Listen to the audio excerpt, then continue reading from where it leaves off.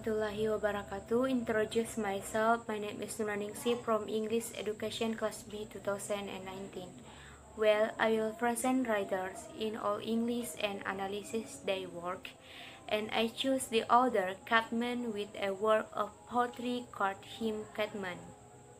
Caedmon 657 until 684 is a earliest English poet whose name is known a Northumbrian who cared for the animals at the double monastery of Trionysus, now known as Whitby Abbey, during the abbacy of St. Hilda. He was originally ignorant of the art of song, but learned to compose one night in the course of a dream. According to the 8th century historian Bede, he later became a zealous monk and an accomplished and inspirational Christian poet. Caedmon is one of 12 Anglo-Saxon poets identified in medieval sources, and one of only three of these for whom but roughly contemporary biographical information and example of literary output have survived. Caedmon's only known surviving work is Caedmon's Hymn, the nine-line alliterative vernacular phrase formed in honor of God which he reportedly learned to sing in his initial dream. The Old English and is with the runic Ruthwell cross and Franks Casket inscription, one of three candidates for the earliest attested example of Old English poetry. It is also one of the earliest recorded examples of sustained poetry in a Germanic language.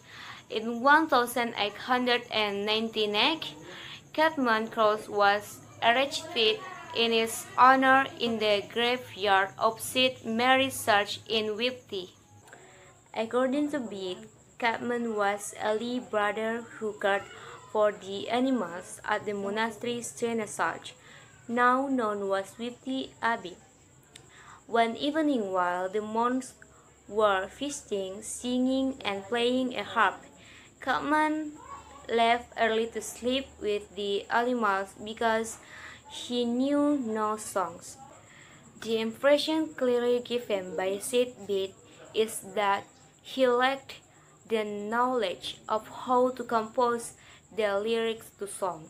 While asleep, he had a dream in which someone couldn't approach him and asked him to sing Principium Creaturem, the beginning of created things. After first refusing to sing, Caedmon subsequently produced a short eulogistic poem praising God, the creator of heaven and earth. Upon awakening the next morning, Caedmon remembered everything he had sung and added additional lines to his poem. He told the sportsman about his dream and Gibb was taken immediately to see the abbess, believed to be St. Hilda of Whit. Bede's account indicates that Caedmon was responsible for the composition of a large opera of vernacular religious poetry. Reports that Caedmon could never compose any foolish or trivial poem, but only those which were concerned with devotion, and his list of Caedmon's output includes work on religious subjects only, accounts of creation. Translation from the Old and New Testaments and songs about the terrors of future judgment, horrors of hell, joys of the heavenly kingdom, divine mercies and judgment of this curves and only his first poem survived. After a long and zealously paused life, Caedmon died like a sin, resolving a premonition of death.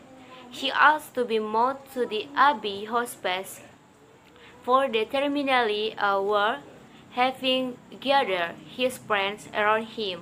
He died after receiving the Holy Eucharist just before nocturnes.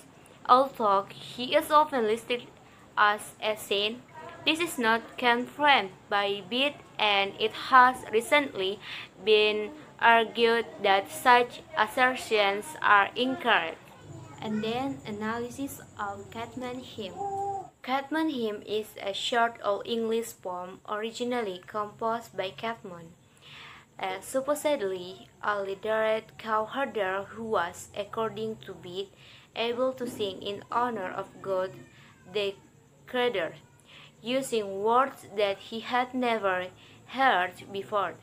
It was composed between 658 and 680 and is the oldest recorded Old English poem, being composed within living memory of the Christianization of Anglo-Saxon England. It is also one of the oldest surviving samples of Germanic alliterative verse. Hymn poetry text.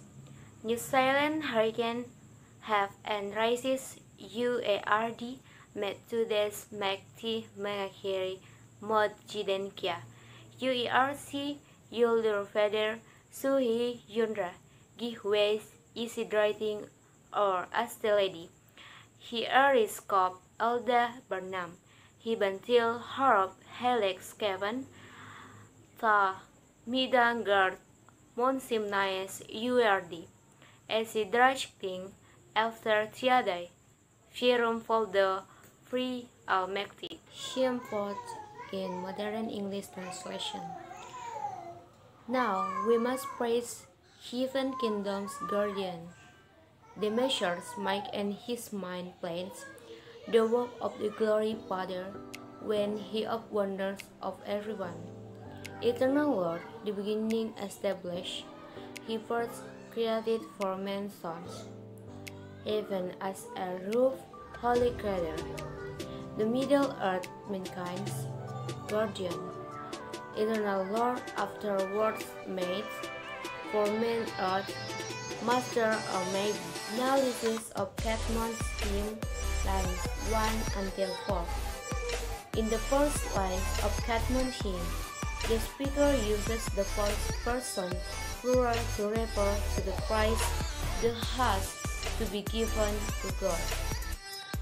The poet uses several different names for God throughout the poem from Heaven Kingdom's Guardian to the nations. Heaven Kingdoms is an example of an Anglo-Saxon compound word known as a kenning.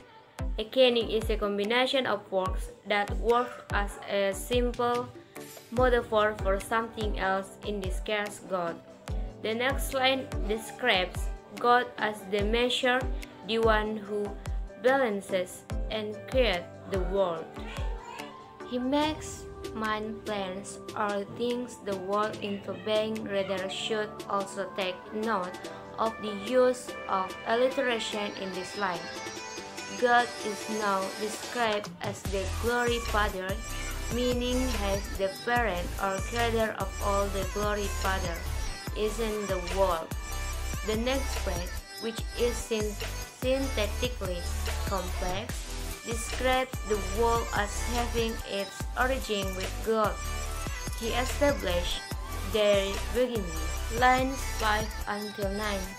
The idea of creation continues into the next line as the speaker says that God created heaven first as a roof, then after that, he created Middle Earth or the world that humanity lives on.